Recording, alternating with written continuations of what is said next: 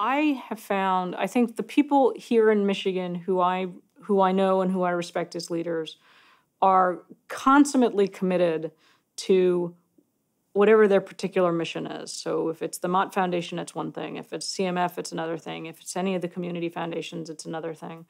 They are of that place. They're for, particularly in the community, you know, for that place. But they are hungry for ideas from outside. Um, now, you know, I'm an outsider, so and I get invited here a lot, so I I would see the world that way.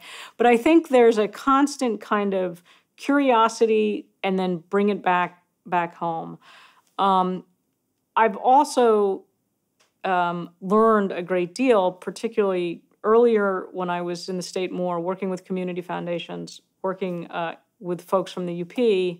There's a kind of leadership that I think um, that that translates into day to day the ways you interact with other leaders, others uh, who you're trying to help, others from other industries that's shaped by your expectation that you're going to see these people tomorrow, that you're here for the long term, that everybody deserves respect, but that you may not sort of what's the phrase I'm looking for?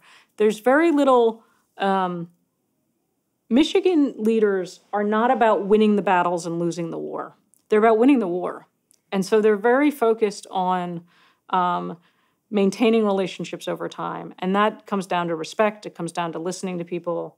Um, it involves curiosity, but I think there's really that sort of sense of, um, yeah, we're not, we're not going to cut off our nose to spite our face. I don't know how many more idioms I can throw in this sentence, but.